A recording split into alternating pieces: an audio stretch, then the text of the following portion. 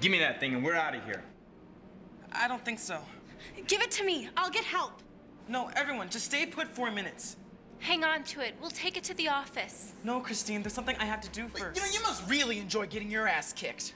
Ted. uh, No, not this time. Ted, Phil, you guys are gonna Okay, listen. Okay, Brian, quit the tough guy act and give me the grenade. Whoa! What are you doing?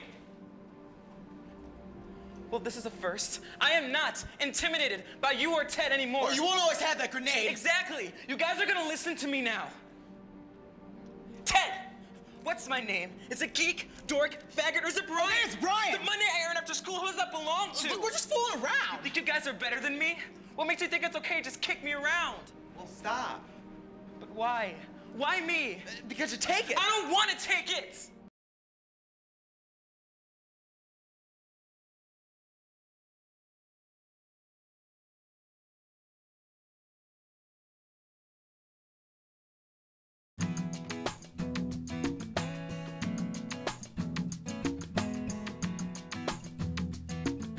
I'm out in the hallways all the time having conversations with kids, trying to be visible. And um, during those conversations, kids, kids talk about the impact that it's made.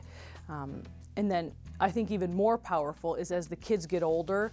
I had a conversation actually with some seniors who are my mentors who, who got to see the play again this year. And I think that the older they become, the more powerful the play that they saw three or four years prior really, that, that, that impact carries through. First of all, I think these are really top-notch teen actors. Like it's really become sort of a hot thing to be a part of. So you get some excellent kids auditioning, and um, they're very believable. Even as a parent, we we are not in the halls of the schools. We are not at the parties at night.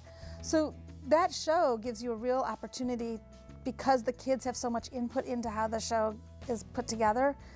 I think we're getting like a, um, a little insight to what really goes on. Some students, if I have a really strong relationship with them, sometimes they come into my office and have a chat with me about my friend has a friend like that one we saw, or sometimes it's, well, I'm having this problem.